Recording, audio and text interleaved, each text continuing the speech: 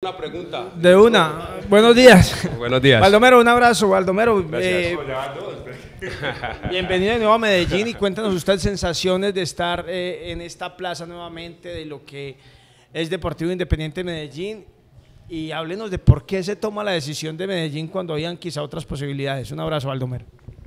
Hola, buenos días. Eh, bueno, contento de estar aquí, eh, agradecido con Dios por la oportunidad que me da la dirigencia, eh, la confianza que me da el cuerpo técnico. Eh, venimos con mucha ilusión. eh, es un equipo que, que viene de pelear cosas buenas el, el semestre pasado.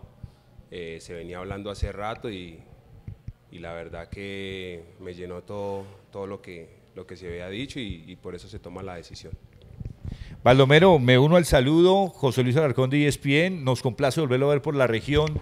Quisiera preguntarle básicamente qué versión de Baldomero Perlaza llega. La, la versión que se va en algún momento del país era una versión que incluso se acercaba mucho a los intereses de la selección Colombia, estuvo en el lente y demás. ¿Y, cómo fue ese recorrido en el fútbol argentino? ¿Qué aprendió? ¿Con qué cosas nuevas llega justamente para aportar al Deportivo Independiente Medellín? Eh, la verdad que es, es un jugador con, con más experiencia. eh, la verdad que estoy muy contento de haber podido dar ese paso allá. eh, se, se aprenden cosas buenas. eh, la verdad que vengo con, con mucha ilusión de poder aportar toda mi experiencia.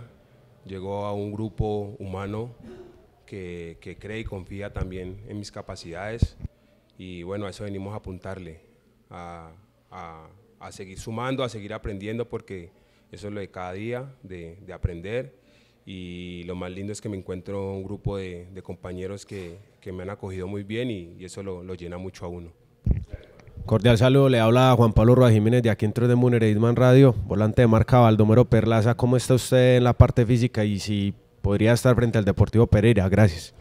Eh, la verdad, eh, venía trabajando, venía trabajando eh, por, por temas de, de- de negociación y tema de, de, transfer de, allá de Argentina. No se había dado la oportunidad todavía. eh, mediante Dios, yo creo que para este partido ya vamos a estar. De a poco el profe me va, me va acercando. eh, la- el trabajo en grupo pienso que es diferente a cuando vos estás entrenando solo, entonces eso también te ayuda a vos a, a hacer una toma de decisión diferente y bueno, contento de estar aquí y con grandes objetivos. Muy buenos días, Baldomero. Un gusto conocerlo. Le habla Sebastián López de Buenos Días Deporte. Le pregunto, por favor, ¿cuáles son esas características principales que tiene en esa función que usted desempeña dentro del terreno de juego para que los hinchas del Medellín ya empiecen a conocerlo y saber en la clase de jugar con la que se van a encontrar? Muchas gracias. No, pues eh, sabemos, no tengo problema de hacerlo volante central, volante mixto. Eh, pues la verdad soy un jugador que me gusta más llegar al área. Eh, por ahí sabemos que ese es uno de, la fortaleza.